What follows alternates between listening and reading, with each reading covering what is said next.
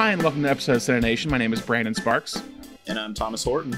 And we're trying something new again after COVID 19, but this is a good thing. This is a good thing. Uh, our, our podcast deals with genre and specifically usually subgenres.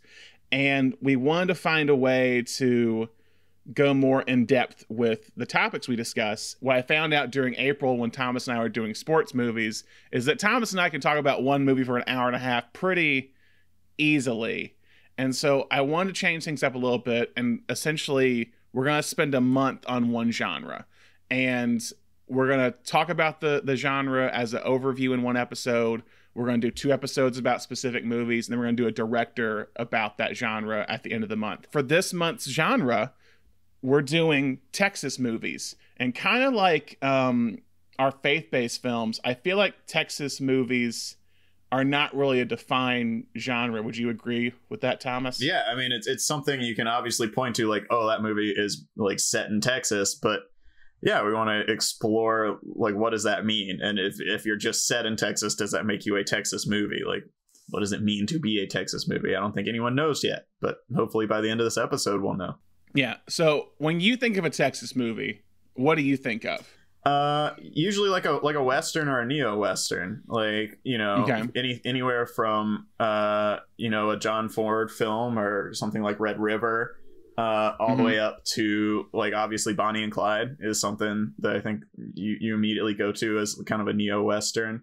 Um, and uh, all the way up to like Hell or High Water, just kind of this idea of like lawlessness, of like a fr- like a frontier still even even in modern day, like No Country for Old Men uh, usually crime related. Um, yeah, yeah, that's that's kind of one of the big I think tropes of this genre is this kind of I I wrote down law enforcement uh, and either law enforcement people trying to solve crimes or this kind of like outlaw mentality that you're like you said is present in the early westerns all the way up to to now where it's still kind of seen as like the old wild wild west basically. And that's carried over all these decades. And there's also been a few other things and we're going to delve into that because i think there's even like weird there's small subgenres within the genre of texas movies but they're all they all have similarities. So thomas mentioned kind of the early westerns like red river rio bravo the searchers kind of these early john wayne movies. We're not picking one of those the one we're picking to kind of talk about the early beginnings of a Texas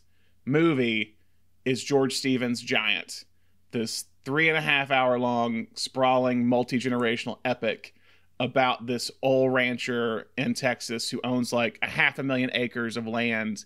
And it's kind of showcasing the changing of the times. It stars Rock Hudson, Elizabeth Taylor, and James Dean in his final role. And Rock Hudson plays Jordan Bick Benedict Jr. And he Elizabeth Taylor is this young woman in Maryland. Bick goes up to Maryland to buy a horse, and he brings uh, Elizabeth Taylor back with him, and they get married. On the ranch is kind of this handyman, like guy who works there, who's Jet Rink, who's played by James what, Dean. What a name! I, what a Jet yeah. Rink. I, every time they said it, I was like, yes.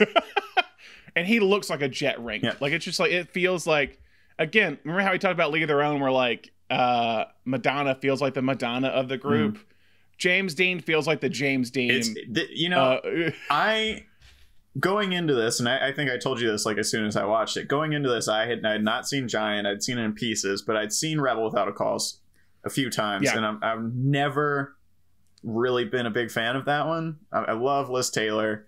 Never really been blown away by that movie, and and because of that, like never really understood the the Dean. Like I I get that he like you know mm-hmm. burned out instead of fading away, and that usually leads to like a legend growing around a person. But I never got the like yeah of of James Dean until I saw this movie.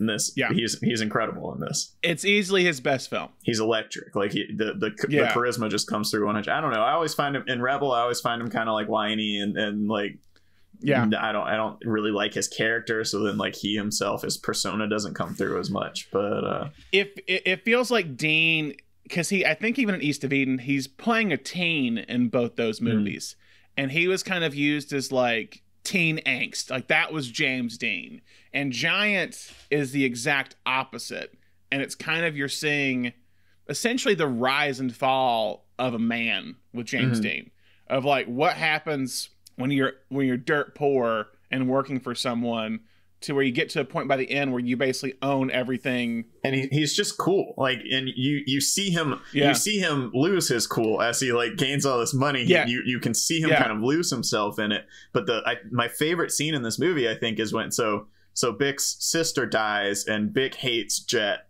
but Bick's sister leaves a patch of their land to jet and um and the the scene when they inform Jet that he's getting this land is amazing because he's tying a lasso the whole time they're telling him and he's like not really looking at anyone and he's he's just kind of like they're like hey you just inherit you, you you know this guy who like didn't own anything to his name they're like hey you just inherited this land and he's like okay and he like gets up and he's like standing in the doorway like like twirling his lasso around he's like i think i might keep it and it's just it's amazing. yeah yeah, there. So there's this. That's a that's a point to bring up with Dean, and I think even with Brando, because that's how I felt when I first watched Brando in a movie, mm-hmm. where I was like, dude, him eating a sandwich is the most fascinating thing I've ever seen before in my mm-hmm. life. It's like the way he like just he always kind of has some weird little business going on where it feels like he's more focused on that weird little thing than he is with what people are saying. Does that does that all go back to Kazan? Maybe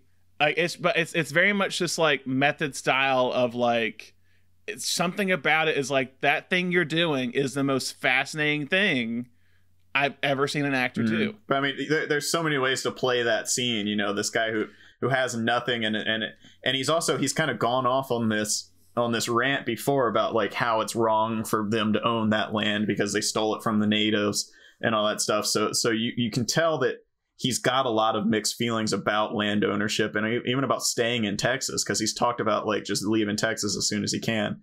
So so there's a lot going on when he hears this news that he's a landowner now, but he just he's plays it so cool and it is it's it's awesome. And that I think that's to see his character. I mean that that is a, probably the best moment for his character. He is he is almost like he's pure there and and you just see him get warped by by wealth throughout the rest of the movie another scene that really kind of hit me was when when he discovers oil and he has the he and it starts blowing up he's just covered in oil after it explodes and he goes to Bick uh to to Reata goes to their house to say I found oil I'm going to be richer than you than you ever wished you could be basically mm-hmm.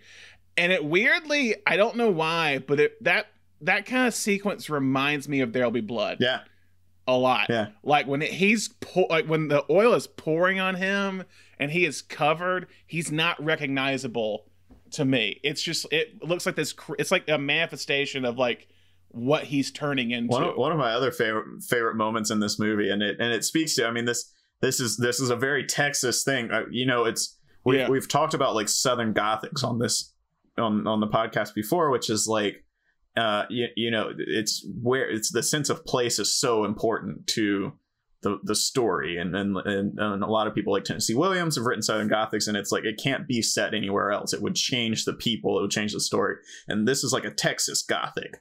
Like it, is, it is so Texas down to its core, and and and one of those things is like this these families that are that are otherwise rednecks who are just oil rich, and um, there's this line where Liz Taylor is talking to these like just hicks. The, they probably grab these. I mean, they don't even seem like actors. They probably grabbed them off of the range somewhere. and they're like, "Yeah, we got a little oil well down on our land. It, it does pretty well. It pulls in about a million, a million. It's, it's, like a million a month, right?" She she she she goes a million. Oh, a year. Oh no, a million a yeah, month. And she goes, like, "Oh, oh, yeah." Well, they go. It pulls in about a million, and she goes, oh, a million a month. And they go, or she goes, oh, a million a year. And they say, no, a million a month. And she said, wow, a million barrels of oil a month. They go, nah, a million dollars. and you're looking, and it's, and it's like, I, I don't know what year it is. It's, well, so it's coming in, it's probably 1920s around that point. Because the thing about this movie, I don't think it actually ever states when things are taking place, if that makes sense. Like you never seeing a title card for oh it's 1919 or it's 1920. You kind of only have like flag again flagpoles of like so their son-in-law is going to the war. So like World War II plays a, a big factor and and kind of again it's a three and a half hour long movie. I don't know where to say where it was at. Kind of like like about an hour and 45 two hours in maybe a little bit over half Um, so you don't really know like where you're at in time, but you're seeing this changing of the time. And I think you mentioned this. You said how the the movie felt like it was getting more modern as it went on. And when I watched it, I, I agree with you. They start changing. All of the production design starts changing. Mm. Like the color palette begins to change. And their mansion and and, in Reata in the in the 20s and 30s era it starts to feel like or 20s era it feels like it's gone with the wind. It feels like it's tara. Yeah. And it's like very brown and fire fires coming from the from the fireplace. It's very kind of this earthy almost like sepia tone. And then by the end of it it's like 1950s 19, 1950s like style architecture mm-hmm. of like white couches white walls. They've repainted the entire mansion to where it like matches with that style. Yeah, once once they once they get into oil themselves, you see the the whole. I mean, that the exterior of the house is still the same, but they get a swimming pool put in, and then the whole production yeah. design just changes. The thing about this movie, it's very much, and why why I think it was, it's kind of like I I see it as one of the big quintessential like Texas movies because one big trope, and we'll talk about this as we go on, is kind of the idea of like a family drama or like a family conflict in some cases over generations. And this is definitely about that. And it's about Rock Hudson. It kind of it kind of comes up a little bit at the end and more like maybe kind of on the nose part of it, but he's essentially trying to keep hold of his legacy is what it is as like his family it's like he's the he's the only man left of his family he's trying to do what his father did and his grandfather did and as time goes on he's still kind of stuck in those old ways mm-hmm. and time is just dragging him as he goes and he's expecting his kids to do the same thing that he did and he doesn't really want to go into oil because he thinks it's more about like the land side of it maybe. He doesn't want rink to come in and desecrate his family land because rink once he finds oil wants to basically explore all of it. That little parcel of land wasn't enough. It had to be everything. And and bick is just kind of like doesn't know what to do.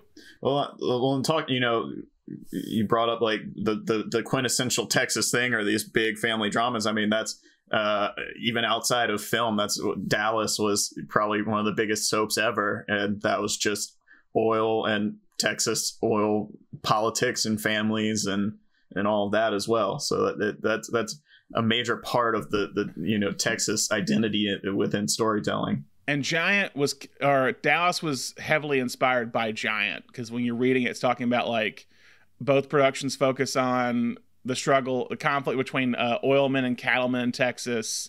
And so Giant came out 1956, and it's it's still kind of a western at the beginning, not much, but there's like kind of western elements of like the landscape, they're cattlemen, and that's kind of how they're making money.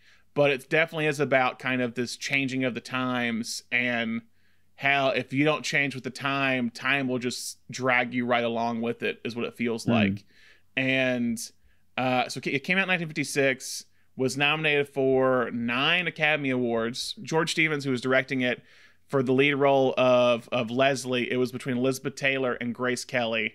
He went with Elizabeth Taylor. He was, he was a little biased anyway. I mean, they'd, they'd worked together before. Yeah, and they worked together a lot uh, throughout their career. I guess Grace Kelly was probably was it peak Grace Kelly? I, I, think a little that that was a little bit before her like Hitchcock work, right? Uh, actually, it's at the tail end of it. Oh, okay. 56. 56 was her last year when she did movies. Oh, okay. So yeah. it's it's coming off of Rear Window and Rear Window, Country Girl, which she won an Oscar for, Dial for Murder, To Catch a Thief. So this would have been if she did it, it would have been like probably her last movie she did in Hollywood was Giant, which would have been a a crazy one to go out on, I would say. So how would you describe it as Texas? Would it just be we've talked about family, uh, the Texas landscape. Is there any other things that like make it Texas? I, I mean, I think the idea of I, I, don't know being tied to like a ranch, and and I think this ties to something like you know Gone with the Wind as far as like plantations went in like southern movies, but like just just the the ownership of a ranch and like the land yeah. is so important in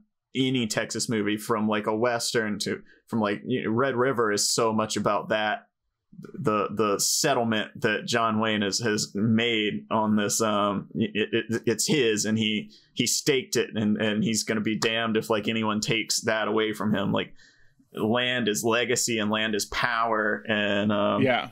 So yeah also beautiful production design beautiful cinematography. They have certain scenes where like every like certain things are played in the dark mm-hmm. like the shadow like there's a scene when when taylor confronts rock hudson where she's like i'm gonna leave with the kids to go back to maryland for a bit where she's just completely in shadow and he's lit by the fire. And it's just like it's crazy. Or like there's a part when after uh the sister uh falls off the horse but it's when I think Dean and all of them are running into the house and it's like the the the the porch is completely for some reason completely pitch black and their silhouettes because of the blue sky yeah, behind they, it. They I noticed a couple of times they used like screening very yeah. in, in very like cool visual ways like for screen porches and screen doors where it was like very obviously daytime but they were able i mean it's essentially a scrim it's like a practical scrim to, to bring the light of the sunlight down um, yeah, there were a couple times I was like, "Oh man, this is like that shot from the Searchers." Except there's a screen, there's a screen over the door, yeah. which makes it a little bit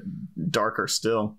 Um, also, yeah. if we're talking technicals, the makeup in this was fantastic. I thought. I mean, you you had to age all these Hollywood actors up to like seventy in this, and it actually looked pretty decent for i mean yeah. you hold, hold that up to the to the final scene of the harry potter franchise i'd argue that the makeup looked better in this.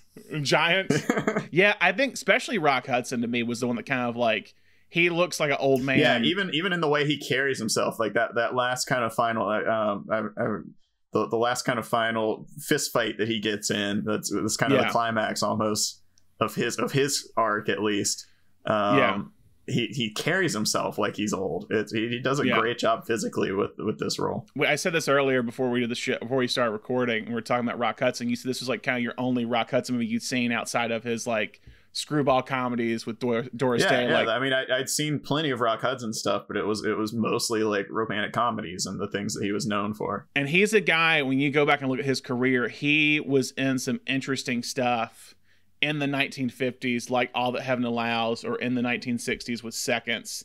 Like I, I, I do think he was like weirdly one of the more versatile and possibly one of the more underrated actors of his era. And sometimes I think he, I think this happens with I think even Natalie Wood. Their HBO did a documentary on her, but like where some, some something in their later life, either a death or personal life overshadows their career achievements and their films they did. And I think like Natalie Wood's death, I think Rock Hudson uh, contracting AIDS and coming out as like open or as being gay and being kind of like this the first big like uh Hollywood star that came out even though he was later in life.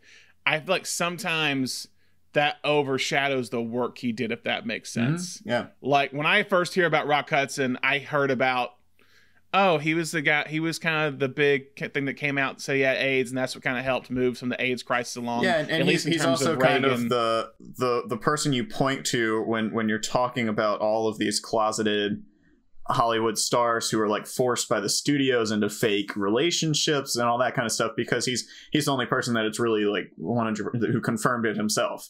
Um, you know, there's so many uh, rumors about these other actors who are forced to live in the closet because of the Hollywood studio system, and, and he's kind of become the person you point to that you're like, oh, like Rock Hudson, because we know we know yeah, yeah. from him firsthand that that's what happened.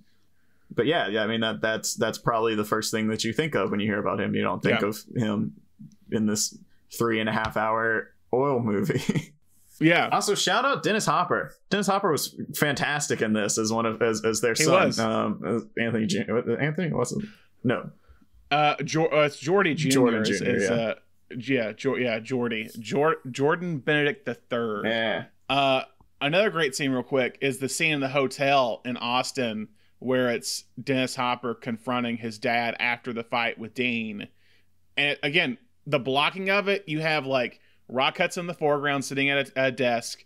You have Dennis Hopper uh, in the midground sitting at the couch and then in the background in the middle is Elizabeth Taylor and the daughter who are on the balcony, and then even farther are the balcony windows across the str- or across the way from them. Like there's so much depth in the mm-hmm. shot, and it's played in a single shot, and it's it's fantastically blocked. Also, if, I, we're, if we're, I gotta shout out Rock Hudson's like physicality for one more thing when you're talking about that sequence when when Jordy confronts uh, uh, James Dean. So there, there's a scene when Jordy confronts James Dean at a party, and James Dean punches Jordy, and you see Bick just stand up and just like stalk James Dean to the front of the room, like just like never taking his eyes off of him, and then they meet, and Bick says, "Like, do you want to get it here, or do you want do you want to go outside? Yeah, you want to step outside?" That yeah. was amazing. It was so good. so, guys, check out Giant if you get a chance. If you have a it chance to to flies by, it really does. It really does. Down, it's I, a well paced film. I texted Brandon. And I was like, I got a lot of stuff going on. I don't know if I can do a three and a half hour movie. Like, I'll probably break it up over a couple of days or something. And I I watched it in one day. I took like a and, and yeah. I, I I was talking to a friend of mine who who loves it, and he's he's seen it in theaters. He said, "When you see it in theaters, you do get an intermission, so I'll grant you that. But otherwise, you need to just commit to it." So I, I took like a thirty minute walk around the neighborhood at the like halfway point and then came back and just just did it all in one run. And it, it it moves. I mean it's covering so much ground. It never feels like it has a wasted second. It, it definitely spends time on things that nowadays you would cut if that makes mm-hmm. sense. Mm-hmm. like it, it, there's certain moments like specifically at the end when when dean's in his uh when he's drunk and he's in his uh kind of uh ballroom oh, yeah, area. yeah yeah. And and and it, it just goes on. Yeah. and it cuts to the uh the daughter of, of Bick who's watching, and it just holds on her. Her uncle's behind her, and you're just watching them watch Dean just like in a drunken mess and just essentially like a broken man. Yeah, I mean it's it's honestly it's it's uh, in in any other story like that that character would have had a big like realization moment of like what have I become and it it's yeah. it's kind of wild that his he has that moment but it's while he's like incoherently drunk so you don't even know if that registered at all or if that's something that is tormenting him constantly but you hear him like cry out for elizabeth taylor's character and that he like lost yeah. her and and you you hear all of his regrets but it's unclear if he's even like conscious of that yeah. he regrets all those things out of giant out of kind of the western version of texas kind of the traditional family version of texas and into kind of a little bit of a subgenre of texas Texas horror subgenre.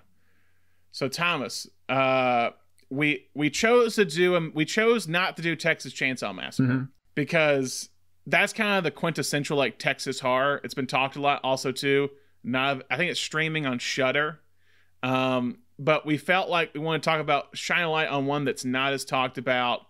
Also, kind of also based on a true story, and also just a little bit of a maybe a maybe a, a hidden film you might want to watch. I think it's on Prime and that's The Town That Dreaded Sundown. Came out in 1976, two years after Texas, Texas Chainsaw Massacre. Thomas, mm-hmm. what is this movie about? And then what is the actual story about? You can do well, and and real quick, kind of the difference between this and Texas Chainsaw Massacre is Texas Chainsaw Massacre. They're both based on true stories, but Texas Chainsaw Massacre based on Ed Gein, who was not actually a Texas native. So yeah, yeah. not telling as much of a Texas story as the town that dreaded sundown uh, which is the which bills itself as the true story of the Texarkana murders. Uh, we can discuss how how accurate that is, but um, but yeah, in the in the in the late 40s, in the the town of Texarkana, which is on the border of Texas and Arkansas, which is where the name Texarkana comes from, a hooded figure uh, committed six, uh, well, four, three, like three murders. Really, I think there were three survivors and three uh, murder victims um, through during the course of like a a, a year, uh, where the first two double murders or first two attempted double murders were on lovers' lanes, and a a man in a white hood approached the car and would um, beat uh, the the two people in the car um, to the brink of death or mm-hmm. to death. And so it became a very uh, famous case and then uh, like 30 years later this movie was made the town that dreaded sundown which is kind of influenced the like mythology of it even more like i mean yeah. if, when you when you look back on it and it's unclear at this point that the mythology has become so intertwined with the movie too it's unclear as to whether people thought of this guy as as wearing that hood all the time before this but he was really there was really only one witness the very first uh, victim who ever like pegged him as wearing a white mask. Like nobody else, yeah. nobody else who survived ever even saw him. So you know that, how much how much this movie influenced is is at this point is irrelevant because it's so closely tied into the mythology of the mm-hmm. town now. Um, but yeah, this movie is is like billed as a documentary. It's um, there's like documentary uh, narration of the whole thing, but it is not accurate at all. And I the whole time I was watching it, I was like, can you imagine coming into a town and saying, I'm going to make a movie about the true murders that happened here. And then when you put it out, people go to see it, and there's like so much comedy in it. Like it is, it's bizarre. That was a that was a note I made. There's a there's a there's a Barney Fife character who's just goofy and like just like slapstick dumb Southern cop. Yeah. There's literally a scene. So one of one of the victims, one of the victims who was actually killed, was a 14 year old saxophone player who was coming home from band practice, and she and her her male friend went out to Lovers Lane, and and they were killed there. And in the movie, they turn her into a trombone player, and the killer oh yeah the killer oh, ties God, her to yes. a tree and then ties a knife to the end of the trombone and then plays the trombone and stabs her yeah as he's playing the trombone like you can never get away with that. Like like think back think back on something that happened in the like a murder like if a serial killer had been was going around in the 80s and you said i'm going to make a movie about this and then you completely like made a joke out of one of the murders? Are you kidding me? Yeah it's it's very weird. But yeah it, this was this was two years after texas chainsaw massacre. It's very obviously like influenced by this like indie um uh slasher industry that was rising up around Chainsaw Massacre, around Halloween, around these movies that were coming up at, at, this time that you could just make a slasher movie on the cheap and, and it would do well. Yeah. It's it's it's weird though. It doesn't quite it's not that scary. It doesn't really I don't think it pulls off the atmosphere of something like a Texas Chainsaw Massacre. It's I think what it really has going for it is the like true story aspect of it, but but you know, as, as soon as you start looking into it, you realize that it's it's it takes a lot of liberties. There's a weird sequence where it's like a uh, a um oh gosh that car chase where like it's it's just it, it, it's like you're in like a, a Smokey and the Bandit yeah. Movie. Yeah, you're just like I'm like what is going on here? Like and it and it has a good setup of like this like Texas I don't know if it's a marshal this, uh, this Texas Ranger shows up to town to solve the case and for some reason it's just kind of this like yeah it's it's the tone the tone is very weird and i mean there's parts if you go back and, and rewatch texas chainsaw massacre kind of the the the character uh, i can't remember anybody's names right now but the character in the wheelchair is kind of treated as this kind of like slapstick joke and i mean there's there's goofy stuff in in all of these movies but this one like i mean it's it's like it's straight the the the the uh, one deputy is like he's straight out of the Andy Griffith show. I mean, it it is way over the yeah, top. because it, it, almost like it starts out more as a drama and as like a hard, like a, as almost like a police, because it's not the Texas Ranger, but the main sheriff in town when he's like trying to track him down. I think it's play uh the deputy. Mm-hmm. Uh, at the part when he's out on the land, he I think sees a car and then discovers two bodies is what it is. Mm-hmm. Like it's kind of a great sequence but yeah, it, it, definitely the tone gets yeah. Lost. Some stuff it pulls off really well. I I love the the final kind of chase that the the ranger and the deputy have. Um, yeah. The kind of the I mean it, it's it's it's kind of pegged as the climax because of course how do you do a climax to a film where the killer was never caught? But um, yeah. they have that that sequence like that's shot like partially slow mo where they're on either side of a train and they're like shooting yeah. through the the train cars. That was I thought that was really well done. Yeah, and it's also a weird movie. It's very meta. Mm-hmm uh the ending at least i won't i won't spoil it but the ending was is a very like meta ending I, and also i'm i'm not sure how i feel about the doc the like the the documentary style narration it feels like an episode of dragnet to me yeah. but that that really i mean you can see what they're going for and that they were like we've this is what sets us apart from texas chainsaw massacre is like we've got a true story so we've got to bill it as close to to a, a, a true story as uh, as we've got going. Yeah. And um, while we're talking about this movie, I'm gonna I'm gonna step on probably I don't know if you're gonna do stats at the end of this, but I'm, I'm gonna step on one of your stats and just go ahead and make a guess that Ben Johnson is is gonna be in the most movies on this list. Let me see. I didn't look at him. He, he's not currently on my list. Huh. I will say that because he did. Um, I know he was in Last Picture Show. He was in uh, the Wild oh, Bunch. Man. He was in. Uh, Is, what, was Wild Bunch Texas? Do I have that on the list? I think so. I think he was in. He was in the Getaway.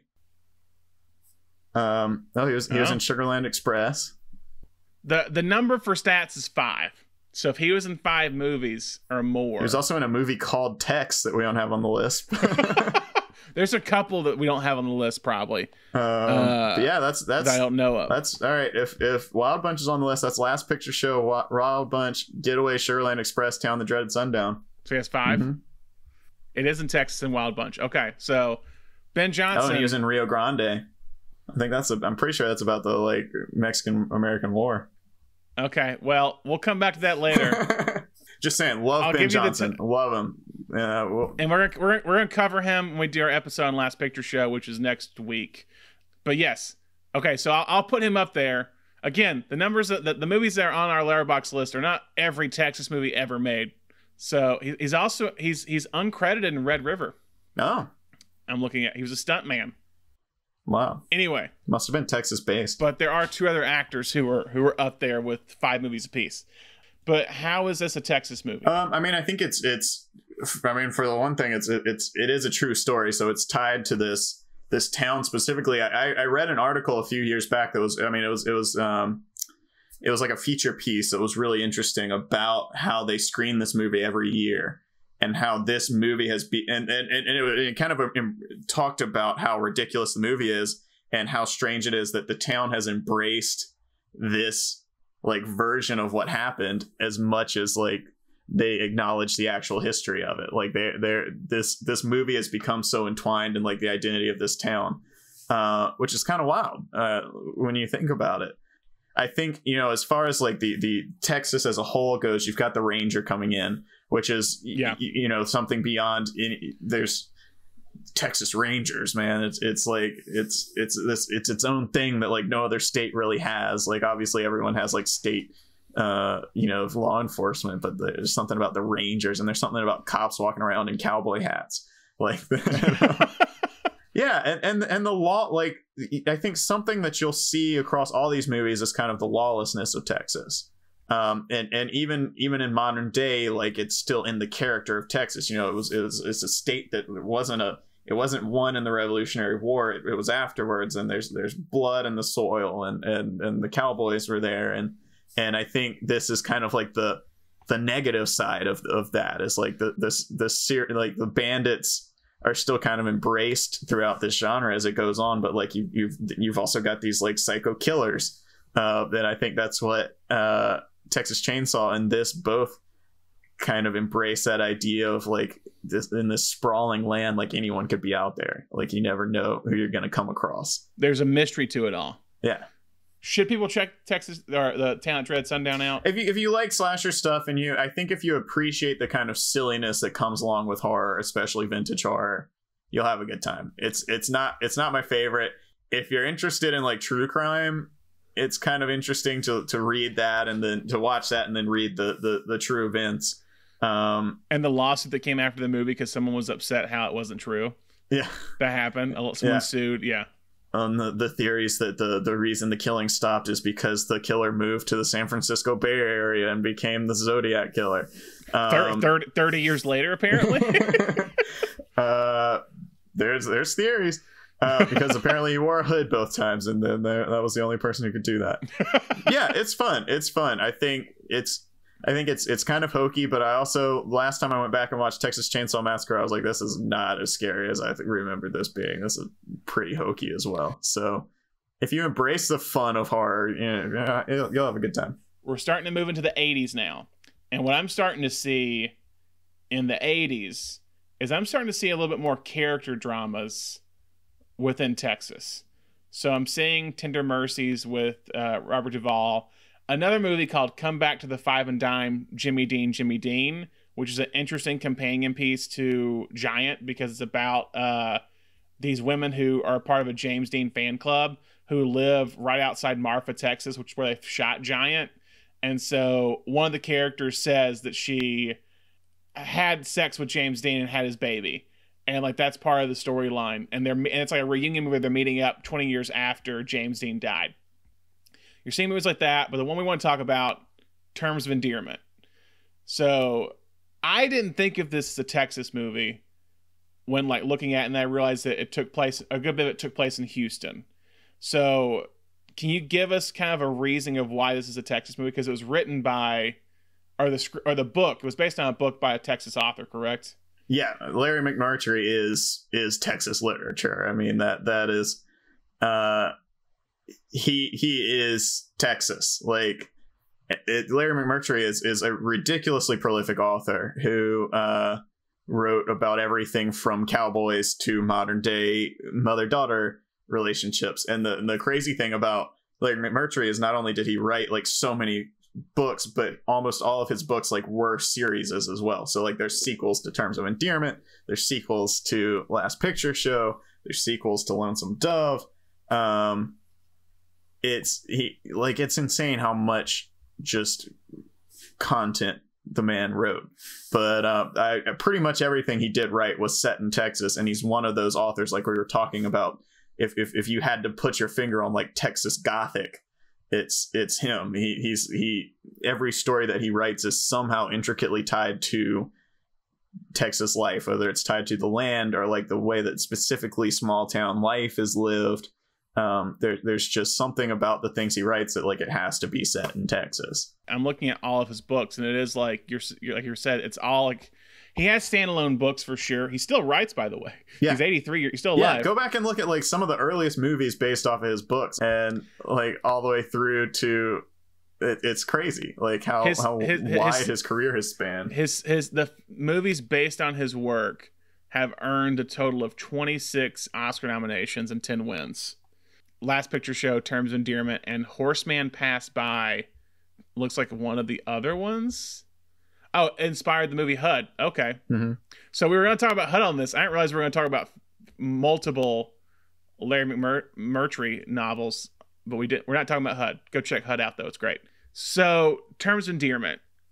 It it's part of a series in his novels called the Houston series. Six novels. That's interesting. Terms of Endearment is about essentially this mother daughter relationship between Aurora Greenway and Emma Greenway Horton. Hey, hey. Mm-hmm. Um, Shirley MacLaine yeah. plays Aurora. Debra Winger plays Emma, and it's kind of uh, it start. It's Debra Winger's character ends up getting married to Jeff Daniels. Flap is his name, and it's and they have of, a they have a they have a son named Tommy. Oh wow, Tom Horton. Yep. so it this has kind of been like it's it's directed by James L. Brooks, who I, will play an important part later on in some of these in one movie we're going to talk about later. But it's kind of has this um, uh, reputation as being like a tearjerker, and sometimes what people would say is like a chick flick. But I don't really see it that way. I think it's a very it is a mother daughter relationship, but there's something about this when rewatching it that I I it, I feel like it's it's aged very well to me yeah. Oh yeah. And there was something I noticed in this, and I don't know if if it was the time period we're currently in, and it wasn't meant to be this way, but I'm kind of reading into it, where everything kind of feels like snapshots. Like weirdly, photographs play an important part in this movie, at least in my in my view, where like people are showing things in photographs where it's like Debra Winger when she's with John Lithgow and she has an affair with John Lithgow, but she's leaving to move away. He's like, "Oh, can I get a picture of you?" And she gives him a picture, showing showing pictures of her kids to her friends. Like it's pictures are weirdly like a reoccurring thing that might be just because pictures nowadays are a rarity. It's like let me pull out my phone and show you like all the pictures I took on my trip when say in the 1980s or whenever like a hard copy of a photo in your wallet was like a big thing. And why I think this is important is because in the movie, it feels like you're like flipping through a scrapbook. You're popping in to these characters at specific moments in their life, and you're weirdly not missing any information in between. It's like you'll just see like two scenes from one specific era in their life, and then just move forwards with no explanation. Mm-hmm. MacLaine and Debra Winger are great. I love Jack Nicholson in this movie as this like retired astronaut who lives next door, who's this like womanizer, and him and Shirley MacLaine end up having a relationship. What's some favorite stuff from you from this movie?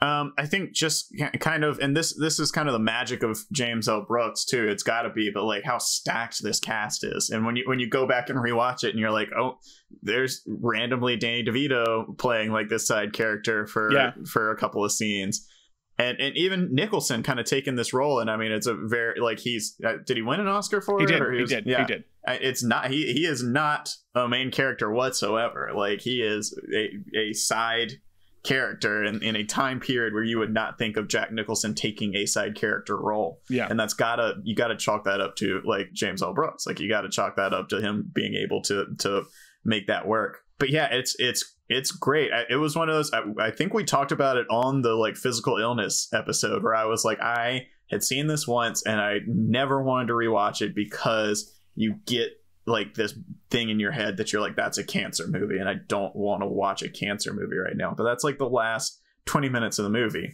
and it's played extremely well. Like it's it's not like I don't know, sometimes you just get these things in your head like oh that's to be sad. I don't want to watch that. And and it is sad, but it's also hilarious and and everyone in it is is perfect and and it's awesome. And and I think when we're talking about how is it Texas? I think one of the things that it, it hits very well without ever like no one ever like says this out loud, but there's this this thing and and you see it in a lot of these Texas movies. When you live somewhere that it's like 8 hours in any direction to not be in Texas anymore.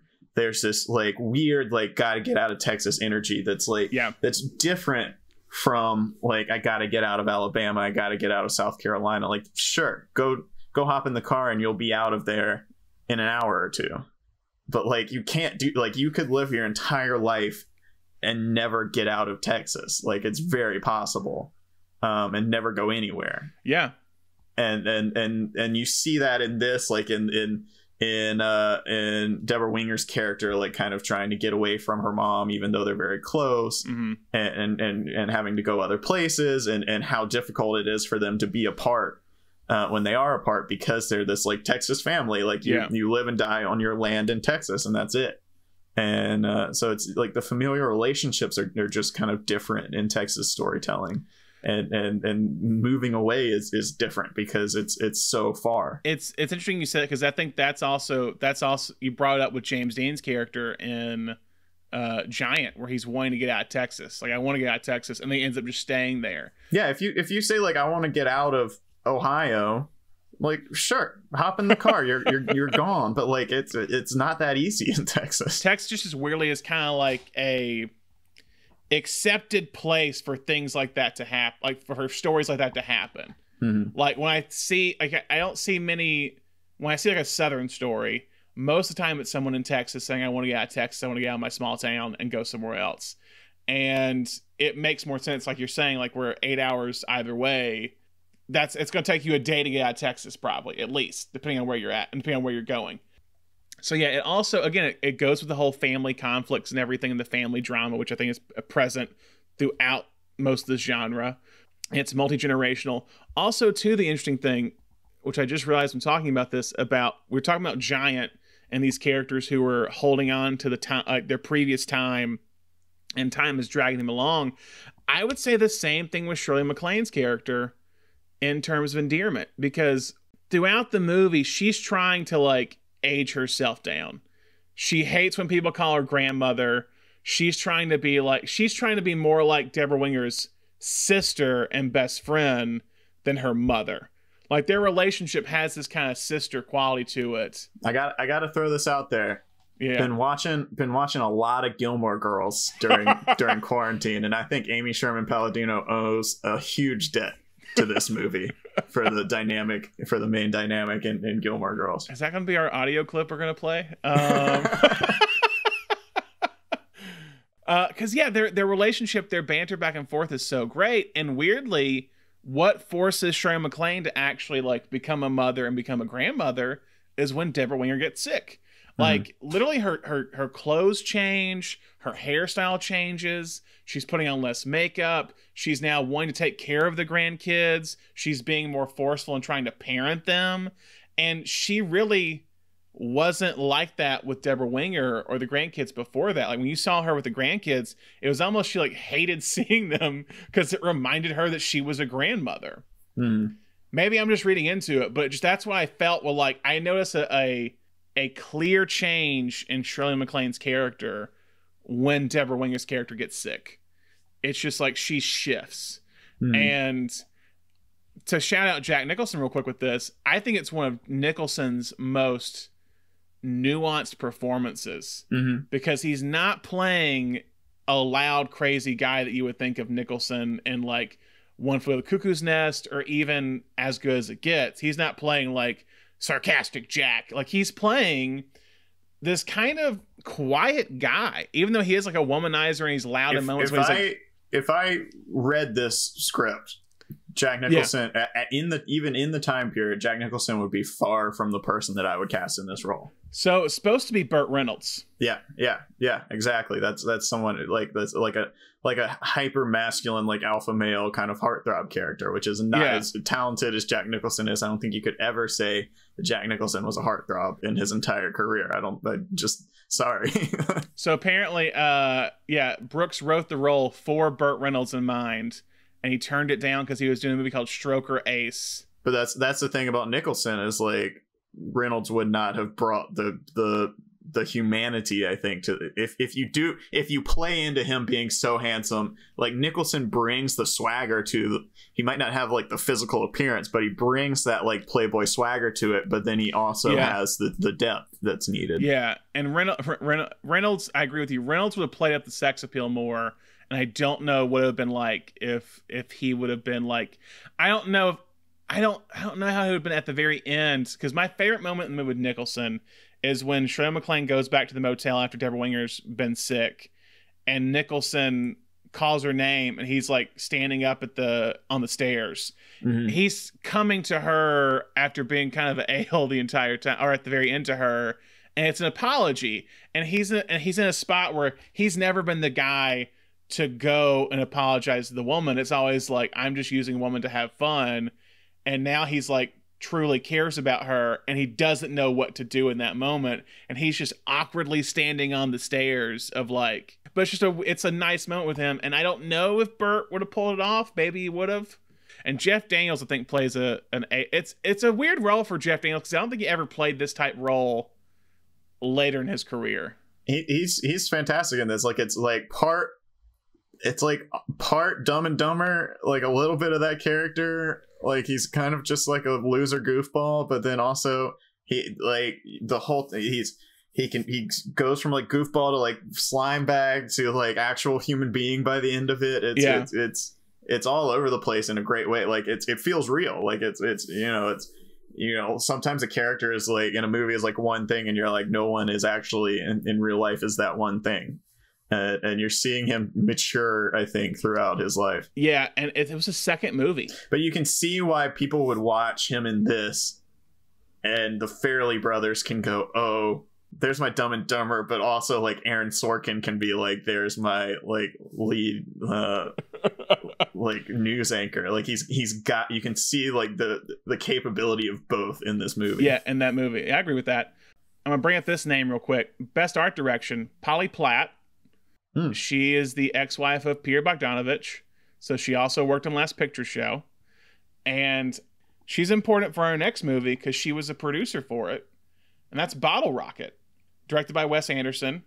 And so we're we're we're out of this kind of 80s character dramas, and we're moving into this kind of Texas indie movement into the late 80s, early to mid 90s where you're seeing directors like Richard Linklater pop up, you're seeing directors like Wes Anderson pop up, you're seeing Robert Rodriguez.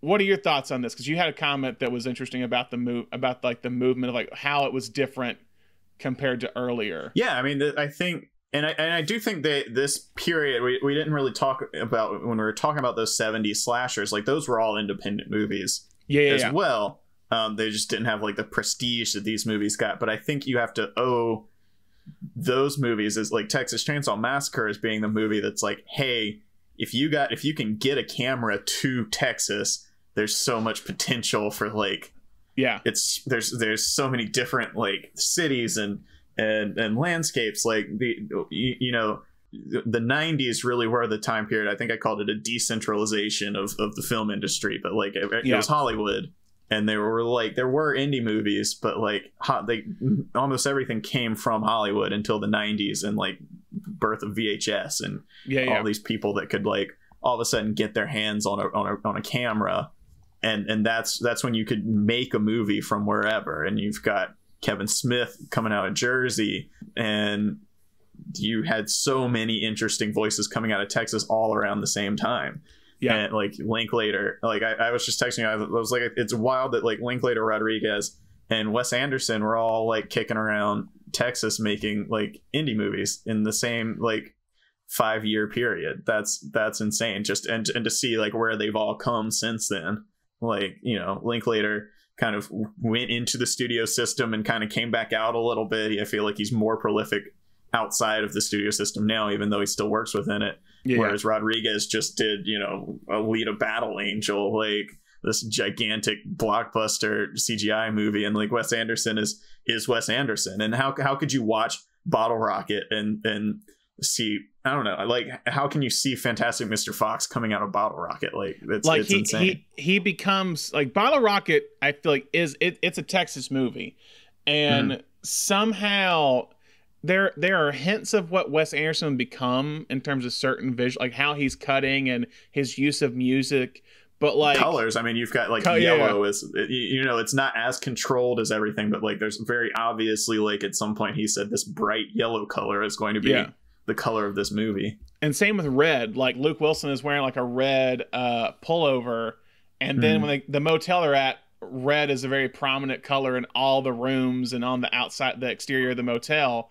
So that's a very big. That's a very. So you big, never really have that. Like you never really have that like center framing or the the yeah. The, um, you know the the where everything's like perfectly design that, that he's come to be known as but you can see it start and, and even like just the scene where luke wilson visits his little sister you're like oh there's a precocious child like there's, there's all the all the like uh makings of wes anderson are there it, it, that's yeah. why i love i love watching like a first feature for someone who's got a really strong voice and that's yeah. that's why i will argue to the death with anybody who talks bad about mean streets to me because like it's just it is incredible to go watch like pure concentrated Scorsese, and he, it's like he almost like doesn't know what to do with it. It's just like so much Martin Scorsese, and he, it, he's not sure where to put it. And it's um, not that's not his debut, but it's I like know, but I think it, I, I, yeah, have seen his debut. I, I think this I think Mean Streets is the one where he's like he's like this is this is me like this is what I want to make. This is, this is what I want to make. Yeah, yeah, yeah, and it, and it's not like it's not processed. It's like raw.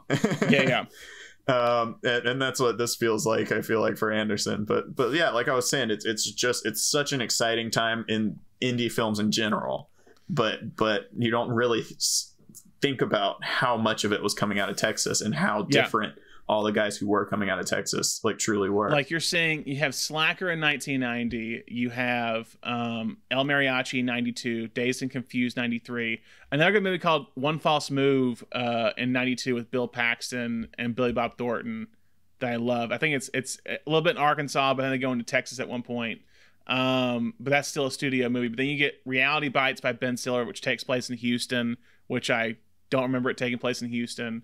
Desperado, Bottle Rocket, Suburbia. Well, and even when you think like like you can talk about you know um, you can talk about like auteurs coming up out of Texas, but even when you like and it you, you when you tell people sometimes this these days who haven't seen Bottle Rocket, when you're like, yeah, Luke Wilson and Owen Wilson started with Wes Anderson and they all wrote yeah. this movie together. Like people don't even know that that tie exists. They're like, oh yeah, yeah, Owen Wilson's been in some of his movies, but like these two guys came up together and you talk about Matthew McConaughey, like Linklater picking McConaughey out of the like hotel lobby. Um, it's it's yeah, it was Texas was huge in that in that time. Now, quickly, what is what is Bottle Rocket about? So Bottle Rocket is about uh three friends who are like early twenties, like college age, uh, in Texas, who have all kind of fallen out of the norm. Like all their friends are off at college, and uh, one of them Dignan, played by Owen Wilson, is kind of manic. They've talked about him having done a stint in a mental hospital, and he is convinced that he wants to be a like a career criminal, like a like yeah, a yeah. like run he has a fifty heists. year pl- he has a fifty year plan of like, how to, yeah, of how to run heists, and he wants to get in with like the local the local underground. Yeah. Um, and and uh, Anthony uh, who's played by Luke Wilson, is uh, just kind of floating. He's kind of aimless. He's dropped out of college, and he also did a stint in a mental hospital, and is now like just not very motivated, and just kind of goes along with whatever Dignan. He's, yeah. he's just seems like he's along for the ride. He doesn't really care about running heists, but he'll do it, and um, he just he just kind of does whatever Dignan says, and uh, it's yeah, it's just kind of about their their their journey. it was it was a short film 1st mm-hmm. and James L. Brooks I think saw the short film and was like, hey, they can make them or like I'm gonna contact them. He was the executive producer on Bottle Rocket, and then Polly Platt was a producer on it. So this is like about a decade after Terms of Endearment, and so she's one of the main producers. So it's like they're continuing, even though the, those two are not really Texas filmmakers, Polly Platt or Brooks they have like the Texas DNA because of Terms Endearment because the last both, picture show. Both worked on McMurtry projects. Yeah. It's, yeah. It all ties back to Larry McMurtry, man. I'm telling you. He's the MVP of the genre, is what you're saying, yeah, right? For sure. Uh, um, but no, and I think about Bottle Rocket. Talk about it. Owen Wilson just has his persona. I feel like down pat right at the beginning of his career. Oh, I, I love and I love the the opening of this movie is so you're you're introduced to Anthony who's in who's checking out of the mental hospital and uh and Dignan is outside like and Dignan has this whole is like in like full black gear with his binoculars and you have this scene where like Anthony throws his like bed sheets tied up as a rope out the window and his doctor comes in and it's like what are you doing? You're you're, good to like you you can leave. And Anthony's like yeah but my friend doesn't realize that I'm here voluntarily. And he put together this whole escape plan so I'm just gonna go with it. And then he like he climbs out the window but Dignan's like watching as he then proceeds to like hug everyone goodbye on his way out. And like it's very very obvious that like he's not escaping. And then, but then when he gets to Dignan Dignan's like oh great. Yeah awesome let's go. Like you did it you made it. It's uh and then he's like he's like oh who's that? And the doctor's pulling in the bed sheet. He goes oh did you hire you hire a janitor to do that? That's so smart. That's so yeah. smart. Yeah i love i love it. He's he's so good in this. And and I, I, I think I told you recently. I, I, I just recently re- rewatched all the Wes Anderson movies, and I, and I, it's it's you know you can you can see him progress in both his visual style and his writing style and that is that is often like dependent upon who he's writing with. And, yeah. and he, he did his first three movies were with owen wilson and uh, i think i still think those are the best scripts that he's ever had. And i agree and it's unclear you know how much was him and how much was wilson I mean, he's been like a co-writer on all of his scripts. But I, I think i think his his finest screenplay is Royal Tenenbaums, and uh, and Rushmore is incredible as well, like from from script format, and and so you, you really make it really makes you appreciate that that Owen Wilson uh, did have a hand in writing all these, and make you wonder why he hasn't written more stuff. But you're also starting to see some of these um, kind of older directors work within uh, the Texas genres. You have, I mean, even Tin Cup with Ron Shelton, where it's I think takes place in Texas and Kevin Costner is a golfer.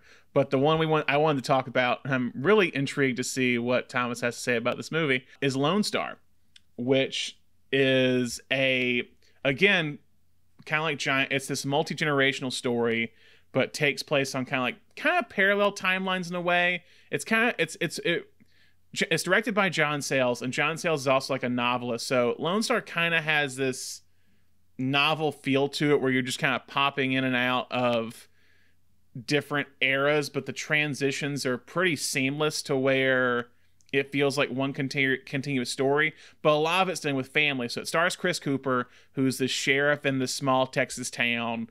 And at the very beginning of the movie, a body is found out in the middle of like nowhere on this like land.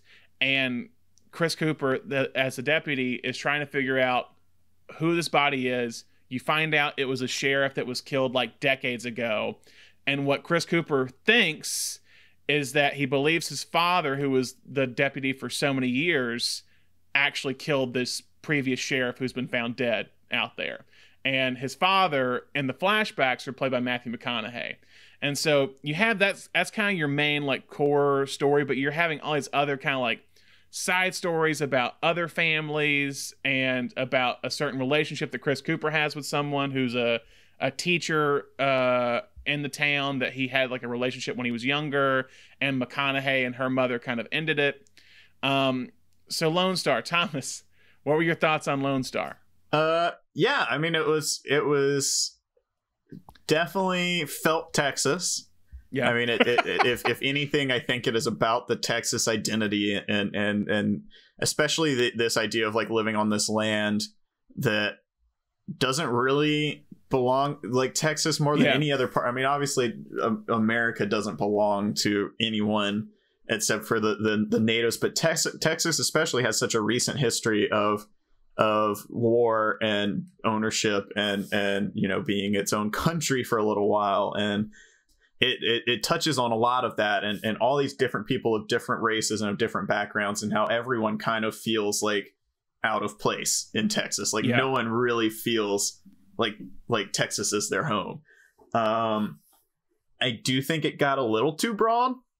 Some of the storylines I could have done without and they just didn't feel like they were really brought home in a in a good way. I mean, you're dealing with there's a there's a there's an army base in town, and you're dealing with like three different stories coming out of that army base alone. Yeah, that like none of them really ended up feeling that important to me in the end. There are a lot of like side stories in this movie. That's why I say it's kind of like Sayles is taking his novel approaches that he does and putting him in a in a, in a film, and some of it's a little wonk. I actually really love this movie, but I understand that critique. Yeah, and and it's I think from an editing standpoint, he cut it himself, and I think it's one of those things that like he did it because he had all these transitions of the time periods in his head. Yeah. And those work really well, but there were a couple times I was just sitting there. I was like, I do not need to see like this guy driving down this road for like a minute and a half straight with nothing happening. Like I, I texted, a, I, I didn't want to text you because I wanted to save it for for for now. But uh, I texted another friend of mine who, who edits and had had seen this and Giant and was like, uh, "This Giant moved. Giant was an hour and fifteen minutes longer than this, and this feels longer than Giant." okay. Um, but yeah, I mean, it, I think it, it I think all, it, the the jumping back and forth is is very engaging, and um, it's it's uh, the the overarching storyline is is fascinating. Uh, definitely did not see the end coming. Don't want to spoil it for anybody.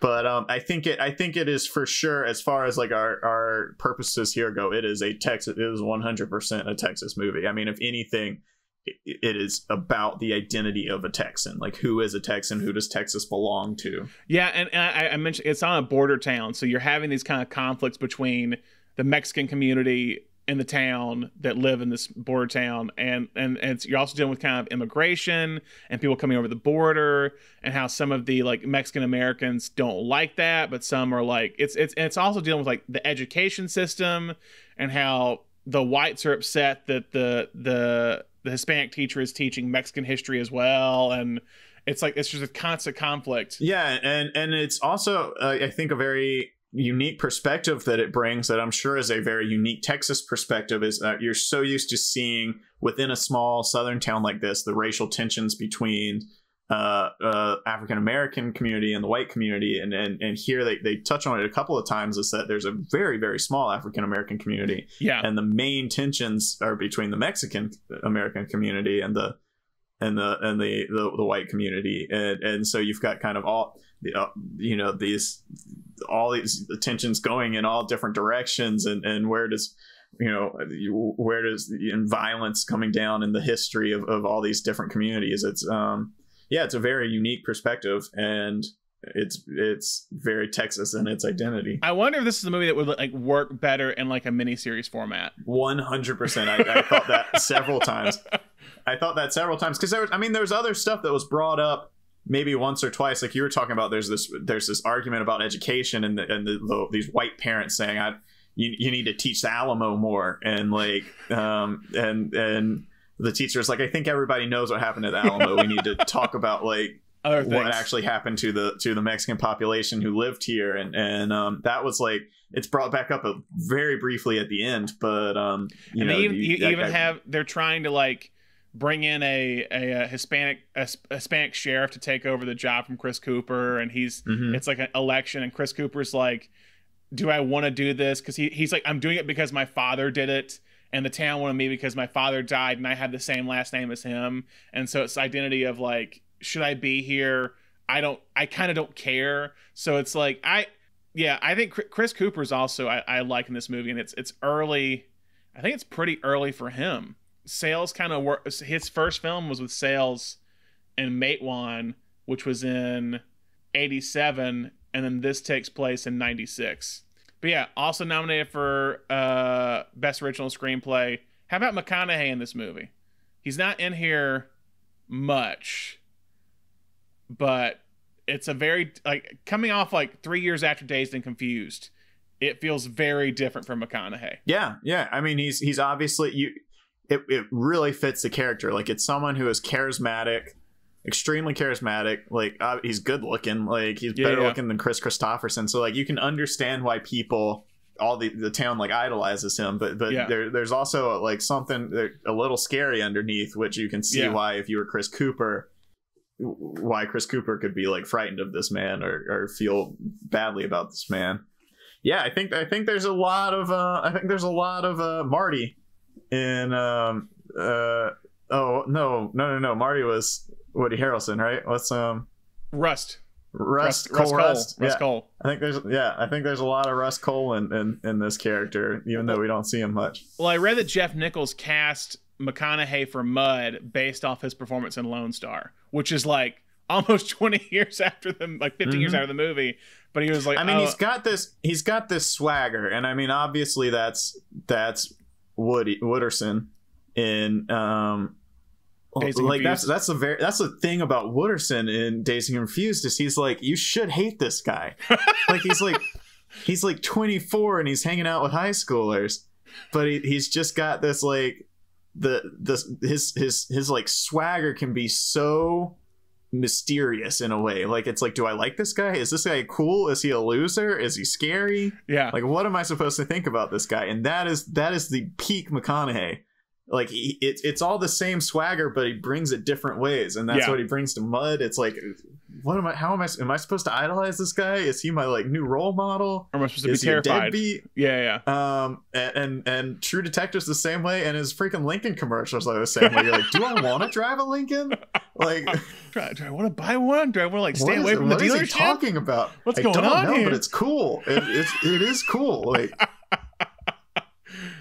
moving on from Lone Star, kind of more into a, present day story. We have to that we're looking at because again, I think we're going through a time in this say 2010s into 2020s where you're seeing a little bit of, again of a rise of a Texas filmmakers in that area. So you're seeing Linklater still working within that genre of Texas, kind of more so than he was saying in the in the 2000s. It feels like you're seeing even Terrence Malick go back and do Tree of Life in Texas.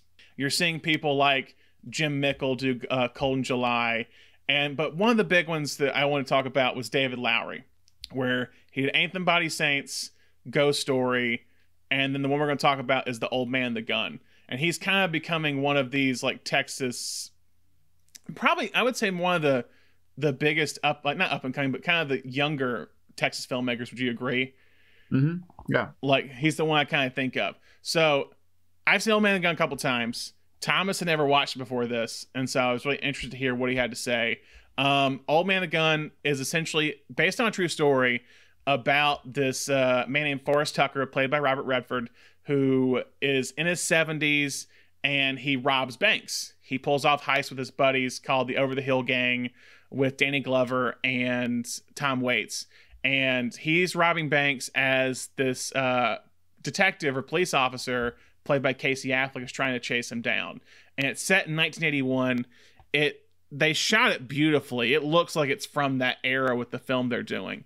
but Thomas, what were your thoughts on Old Man the Gun? Uh, I loved it. I think I think this is a it's one of those movies you have a hard time picturing anyone else in, and it's yeah, almost yeah. as much, even though it's based on a true story, it feels like like Redford was like made for this. Yeah, um, because it's all about uh, how much did this guy get away with f- just for being like charming and handsome when he was younger and and just like overall likable and Redford plays it so well.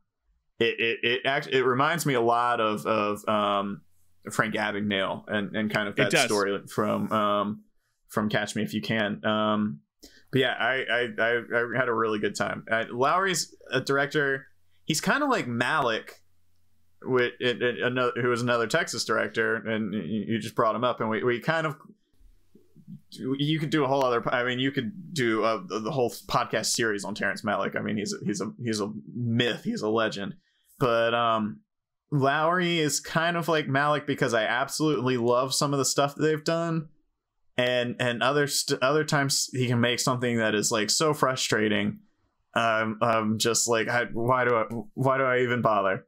And but it's always going to be distinct. It's it's yeah, never yeah. going to be it, you can never accuse them of being bland, either of them. I agree with that. Um, but this this is probably my favorite Lowery movie that Same. I've seen so far. But Lowery, this is this is definitely a love letter to Robert Redford. There's so many hint, like kind of tributes to like uh, Redford's career. Even the poster is the Jeremiah Johnson poster, and also even like Casey Affleck does the the Sting yeah. nose thing uh-huh. at the end yep. to him so yeah, it's very much this leveler because Redford plays a big part in Lowery's career because uh, because of Sundance, mm-hmm. where Anthony, Anthony by Saints got accepted to Sundance, and I guess Lowery and Redford really hit it off. So Redford did Pete's Dragon uh, with him, and then uh, Ghost Story gets into Sundance again. No, and then, boy, did Ghost Story hit Sundance! Oh man, yeah. I just that that was everyone just came out of Sundance and they were like, "Oh my god, Ghost Story," and I was like, "What?" And then and, and we were and you and I were both excited for it, and then we were just kind of like, "Okay." I mean, he did he did an interview and said, "This is the best movie I have ever made and will ever make." Like, and so we were so got, hyped. Yeah, you've got one of the most exciting like up and coming directors, and he's just like, "I will never make anything better than this." like, and then we we were kind we were both kind of disappointed by that, and that's the thing. That's why hype's hype's not great, guys. Don't believe the hype. Sometimes it'll it'll hurt your experience. Um, but yeah, Old Man the Gun. I think it, it it just it it has a very old Hollywood feel to it, if that makes sense. And him him and him and Casey Affleck, Redford and him, they only have one scene together, but it's probably my favorite scene in the movie. Oh, it's Affleck is so great. He, he gets this like smile. It's so good. Because Redford's going basically Casey Affleck and his his wife are going out to dinner and Affleck has figured out who who is robbing these banks. And he knows it's Redford, but he's never met Redford before. And Redford's at the diner with with Sissy Spacek, who he's seeing at the time, and he sees Affleck come in, and he's seeing the Affleck's like, oh, I, I want to catch, I want to catch this guy, and so Redford like basically confronts him in the bathroom. It's kind of like this joke, like, oh, like he doesn't know who I am, and then it just takes a turn, and then mm-hmm. he, and then he realizes, oh no, this guy knows who I am.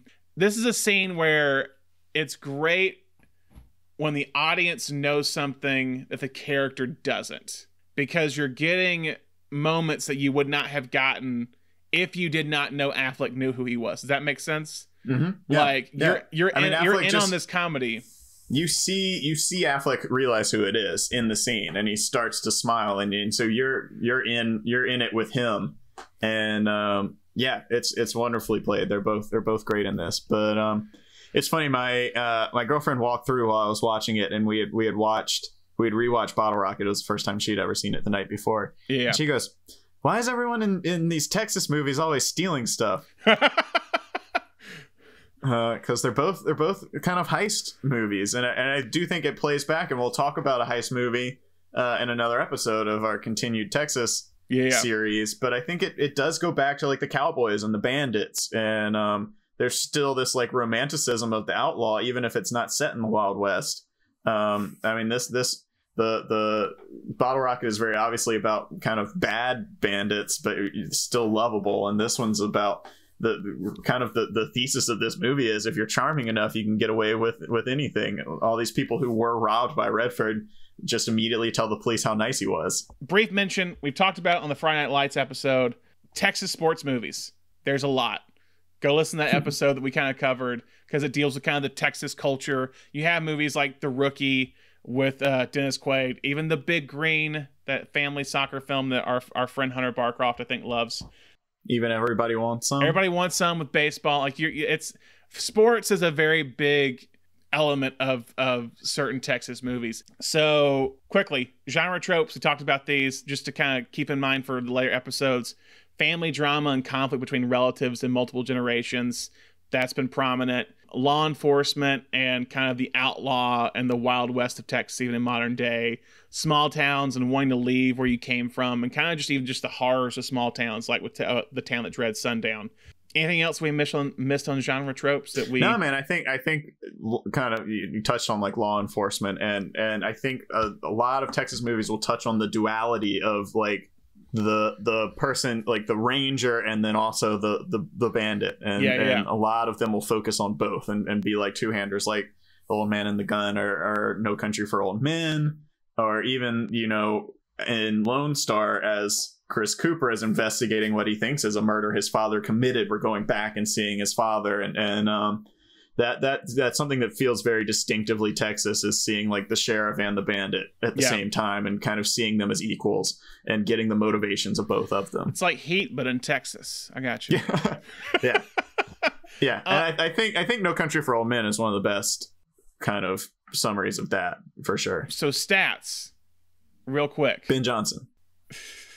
we'll, we'll get to that one. Most popular films. Top three. Top three. Uh uh, Dazed and Confused. No. What? I Letterboxd, I don't understand you sometimes. Yeah, that, that's that's number ten. Uh, Rushmore. No, that's number nine. Uh, Holes. No, Holes is not up here. Um, one of them we've mentioned recently within the past five minutes. Ghost Story. Ghost Story's number four. Ugh. More people on this app have seen a ghost story than have seen Dazed and Confused. Yep, and and uh, well, uh, this this this is wrong. Ghost Story's up higher for some reason. It's not Ghost Story. Ghost Story should be lower. Uh, Dazed and Confused and Rushmore. People have seen more on this app than Ghost Story. Letterboxd is a weird feature where it's like if it was, I guess, watched since Letterboxd has been around, it like ranks them higher. I don't get it. So take out what I said about Ghost Story. Uh, uh, uh, No Country for Old Men. That's number one. Okay, all right. I, am happy with that. Tree of Life. Tree of Life is number. It says five, but it's actually lower. Boyhood. Boyhood's number two. Uh, the the Lone Ranger. No, this one you won't. this one you won't guess. So I'll just tell you because it's actually I was actually kind of shocked by this. Mm-hmm. Nocturnal Animals. Oh, okay. Uh, that, that that was very that's very that's a very Letterboxd movie. Yeah, like that's anything with anything Jake Gyllenhaal. It's gonna be. That's yeah. That's a movie that uh I feel like came and went. Yeah, it was very hot button. Like while it was in theaters, everyone yeah. was talking about it briefly, but it didn't even. I guess it didn't hit like with awards, so it didn't really feel like it endured. Like I don't I don't know anyone that hated it, but it was just like it was also Michael Shannon. I think got a nomination. Weirdly, I think Aaron Taylor Johnson got a Golden Globe nomination and maybe won, but I'm not positive. Um, but yeah, those are the top three. Um, least popular movie. You won't get it. It's okay. yeah, yeah. Uh, no, just I, I actually kind of want to see it. Uh, Dancer, Texas, population 81. You you want to see it because it's got Ethan Embry in it. You love Ethan Embry.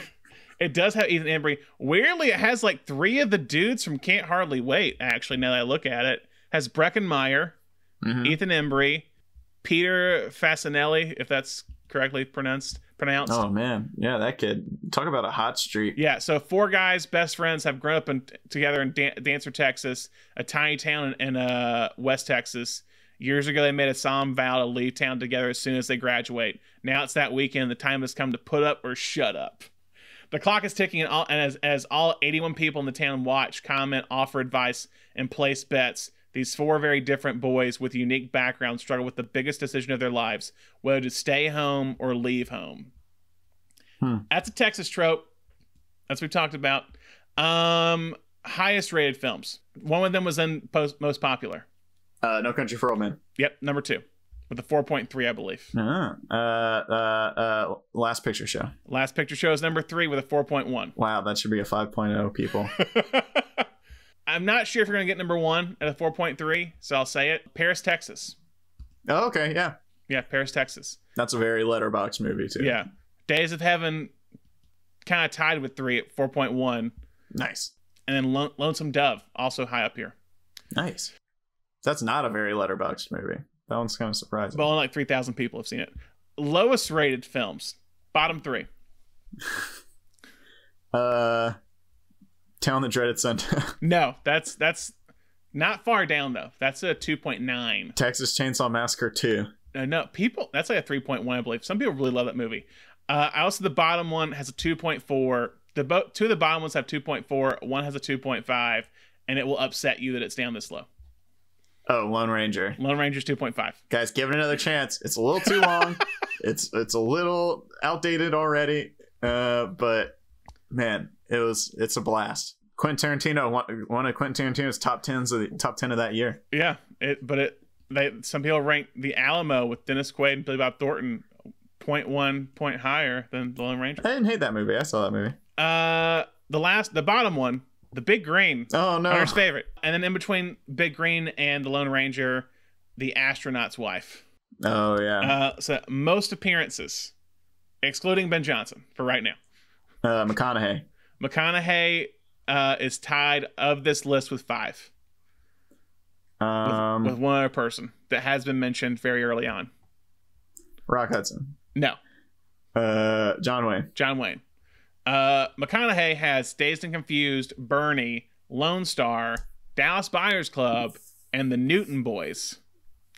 Um, John Wayne has The Searchers, Red River, the the original The Alamo, Rio Bravo, and a movie called Hellfighters, where he plays, I believe, a yeah oil well fire specialist. Okay, sounds like a fun movie, guys. Him and him and Katharine Ross. Uh, oh. But I'll, I'll give Ben Johnson because I feel like Ben Johnson is probably up there, either tied with Wayne in reality or possibly surpassed both of them. So, last mentions are there any movies besides the ones we're going to cover later on that we haven't mentioned that you want to quickly mention? Uh, I mean, I got I got to shout out my Terrence Malick movies. I love them. I love those. Um, I think Office Space, you just gotta kind of give it a give it a call out when we were talking about like the big '90s like yeah. indie stuff. Yeah, yeah. Uh, Mike Judge, like uh, not a lot of people think of Office Space as being inherently Texas, but then yeah. when you think of like Mike Judge, your mind very quickly goes to King of the Hill, and you're like, oh, okay, yeah, that, yeah. that, that dude's Texas. Guilty pleasure movie, other than than Lone Ranger, gotta gotta shout out real quick. Secondhand Lions. Love that movie. Uh, ha- has a 3.3 on Letterboxd. It's fun. That's a, that's just a fun, just a, like my, like my mom would say. That's just a fun movie. yeah, I, I actually I watched Secondhand Lions a lot growing up. That was that was a big one. You got HUD with Paul Newman. I'll give a shout out. Um, one I, I've said Tender Mercies before on a previous podcast, so that one. Uh, I'm gonna say one I really like that I think is an underrated film in his filmography is The Sugarland Express by Spielberg. Mm-hmm. I think that's a movie. If you want to watch, you're talking about because that's his like uh debut. We're talking about debuts. That's his like theatrical debut with Sugarland Express. You're seeing Spielberg and probably his most like non-Spielberg movie where he's kind of doing this Bonnie and Clyde esque story and he it's the filmmaking is completely raw. He has like a, a scene where it's like he does a 360 shot within the car and it's done masterfully. And then you have like this crazy long vertigo shot that he does this vertigo's this dolly zoom that he does towards the end of the film when someone like has a sniper and is like aiming for something. It's it's crazy. It's just a very raw underrated spielberg. And then also cold in july with uh, Sam Shepard, Michael C. Hall, and my boy Don Johnson, and your boy Wyatt, Wyatt, Wyatt Russell. So yeah, quickly, where should people start if they want to start with the Texas movies? And this could be any movie we could have covered or not have covered or covering in future episodes. I mean, honestly, I do think it's a little intimidating, but I do think Giant is a is a great like Starting just point. everything everything Texas. Yeah, yeah, if you're looking for like pure concentrated Texas, I think that's a that's a great place to start. If if you're intimidated by that, um, I do I, I really love Red River. Um, highly recommend that one, and it and it, it, it also I think you need to start with something like kind of western and, and some of that earlier stuff where you get the like the land and because yeah. everything everything after that is like a play on that. Um, yeah. No matter as we've kind of seen today, no matter like what genre you get into, it's all kind of playing off of like the the the Texas identity and how tied people are to the land. Um, so I, I do think you you should start with with one of those for I, sure. I agree with that. I like both those. I think HUD's not a bad one either because mm-hmm. that also deals with kind of like family drama and kind of this the the. And that's a McMurtry for you. It is, yeah. So start with a McMurtry film, basically, is what you're kind of yeah. saying, maybe. um, I would agree with both those. Uh, so yeah, we have coming up real quick. Uh, for the next three weeks after this, we're doing a episode on the Last Picture Show next week. Is the plan. Uh, after that, Hell or High Water. So we're looking at kind of a classic film of the Texas genre, and then more of a contemporary film, and kind of kind of dissect what we talked about in this episode and put it in more like a more kind of case study with those two. Uh, and then we're gonna finish off the month with Richard Linklater, which will be a.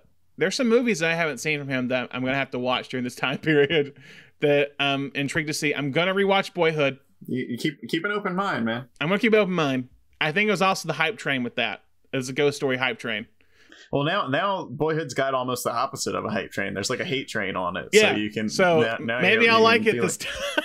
Now, now, you can go back and be like, oh, this is better than like most people say yeah. it was. So I'm ex- I'm excited for for for all of these coming up, and I'm excited to kind of look into Linklater stuff. So yeah, we're gonna be prepping on that for a while. Um, but yeah, guys, thank you so much. Make sure you stay safe during this time. I know some places are opening back up. Just be careful uh, be aware of what's happening and get good information. Um, make sure you listen to the Nation on Spotify, Apple Podcast. Follow us on Facebook, Twitter, Instagram, and look at our Medium. We're putting more and more stuff out there right now, and hopefully we'll continue to do that for the rest of the month. And hopefully a few Texas kind of special articles. Again, Thomas, thank you so much for coming on. Absolutely. As always, guys, go watch some Texas movies. And thank you so much for listening. We hope you listen to more episodes soon. Bye.